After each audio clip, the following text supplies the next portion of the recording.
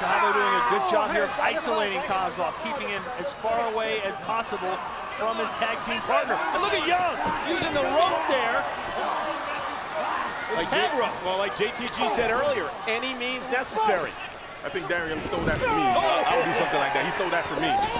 Oh, there's the veteran Chavo. Oh, Chavo certainly knows how to beat a bigger, stronger opponent. Chavo usually the smaller athlete in the ring, but it doesn't matter. Chavo, a multi-time former tag team champion. And it's going to take two minutes. How great was that? he still A ain't bright. massive display. He still ain't bright. Well, Vladimir's bright. He'll make the tag. Conor chomping at the bit. What a victory this would be for Kozlov and O'Brian. Here we go. The rookie. All over Darren Young. And Chavo's still in the ring. He'll get some too.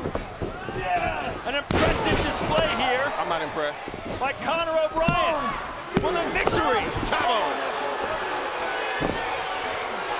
And now Chavo's in there. Who's the legal man here? It's two on one.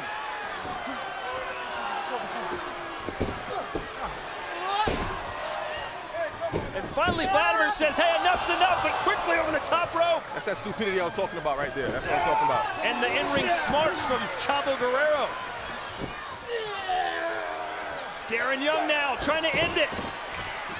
Nice reverse by Conor O'Brian.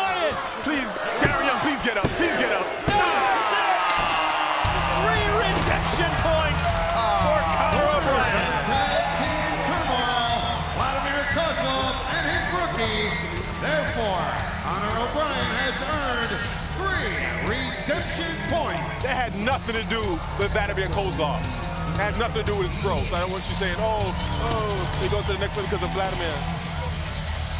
Well, either way, Conor O'Brian gets three redemption points, but will he have a chance to use them? Because later tonight, moments from now, someone will be sent packing.